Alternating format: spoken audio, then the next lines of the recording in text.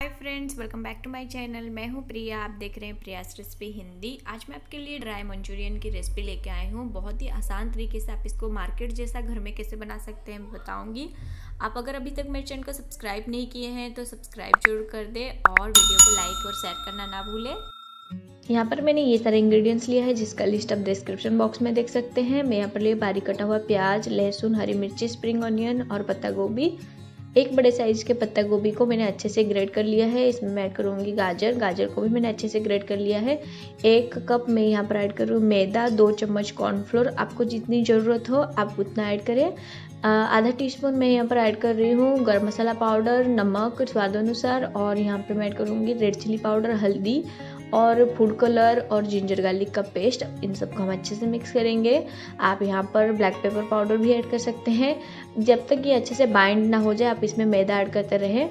अब मैं यहाँ पर तेल गर्म होने के लिए रख दी हूँ, इसको हम फ्राई करेंगे। मैं यहाँ पर आज जो मंचूरियन बॉल्स बना रही हूँ उसको मैं थोड़ा अनइवन बना रही हूँ। आप चाहे तो एकदम परफेक्ट गोल गोल भी बना सकते हैं। अब इसको हम अच्छे से फ्राई करेंगे। थोड़ी देर तक इसको हम फ्राई करेंगे, जब तक ये गोल्डन ब्राउन ना हो जाए। जैसे अंदर से भी अच्छे से पक जाए, अब ये रेडी हो चुका है। मैं जो रेस्ट बचा हुआ था, उसको भी इससे फ्राई कर लूँगी। अब हमारा मंचूरियन बॉल रेडी हो चुका है। बहुत ज़्यादा क्रिस्पी और टेस्टी बनता है। आप इसे, ऐसे भी खा सकते हैं। अब मैं इसमें इसमें ग्रेवी बनाऊँगी। इसके लिए हम सॉस बना लेंगे। मैं यहाँ पर दो चम्मच तेल ले रही हूँ। इसमें ऐड करूँगी लहसुन। लहसुन को हम अच्छे से फ्राई करेंगे। हरी मिर्ची भी मैंने इसमें ऐड कर दिया है। ये अच्छे से फ्राई होते हैं। मैं इसमें ऐड कर दूँगी प्याज। बारीक कटा हुआ प्याज मैंने यहाँ पर लिया है। आप, आपके टेस्ट के हिसाब से ज़्यादा या कम प्याज ले सकते हैं। अब प्याज भी हमारा अच्छे से गोल्डन ब्राउन हो चुका है। मैं इसमें पत्ता गोभी और जो स्प्रिंग ऑनियन रखी थी, उसको भी ऐड कर दूँगी।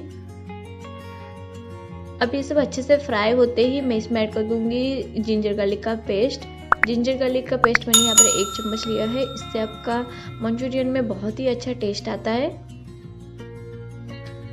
अब मैं इसमें ऐड कर दूँगी रेड चिली सॉस और एक चम्मच सोया सॉस आप अगर तीखा कम खाना चाहते हैं तो फिर यहाँ पर टमाटो केचप या फिर स्वीट चिली सॉस भी ऐड कर सकते हैं। अब मैं यहाँ पर ऐड करूँगी विनेगर बट मंचूरियन थोड़ा तीखा हो तो ही अच्छा लगता है, इसलिए मैंने यहाँ पर एक चम्मच रेड चिली सॉस ऐड किया है। अब यहाँ पर मैं ऐड कर दूँगी मंचूरियन बॉल्स इसको अच्छे से मिक्स करेंगे, नमक ऐड कर देंगे ऊपर से, जितना ज़रूरत है उतना ऐड करें। मैं यहाँ पर एक चम्मच कॉर्नफ्लोर को तीन चम्मच पानी में मिक्स करके ली थी, क्योंकि हम ड्राई बना रहे हैं, इसलिए मैं ज़्यादा पानी ऐड नहीं करूँगी।